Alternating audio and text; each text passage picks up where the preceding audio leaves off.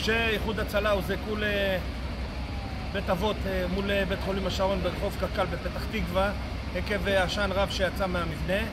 חובשי איחוד הצלה שהגיעו על אופנולנסים הגיעו לזירה וסייעו לטפל בשני פצועים כאן משאיפת עשן. כמו כן חובשי איחוד הצלה נשארו במקום לסייע באבטחת עבודת הכבאים עד לגמר העבודה ושחרור על ידי הקצין כיבוי שבמקום.